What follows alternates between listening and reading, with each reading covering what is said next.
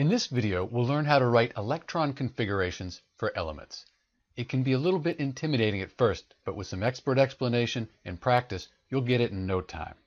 At the center of each atom, we have a positively charged nucleus. Then around it, we have electrons, which are found in what we call orbitals. With just one electron, we have hydrogen. The 1, that's the energy level, which is also the period or row it's found on in the periodic table. The S, that's the shape of the orbital. Here it's a sphere. And we write the superscript 1 to show that there's one electron in that 1s orbital. So the electron configuration for hydrogen is 1s1. When we add another electron to the 1s orbital, we have helium.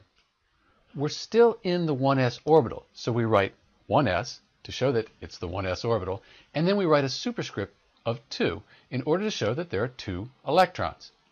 At this point, we've filled the 1s orbital. For lithium, the next element on the periodic table, we add another electron, and we put it in a new orbital, the 2s orbital. For lithium, we have the 1s orbital, which is full, and then we have the new 2s orbital with one electron. So that's the electron configuration for lithium. As we go on, there will be orbitals with different shapes, like the p and the d orbitals, but it's the same general idea. We're placing electrons in orbitals around the nucleus in a pattern, and we're writing that pattern down in an electron configuration to describe the arrangement of those electrons. This is Dr. B, and thanks for watching.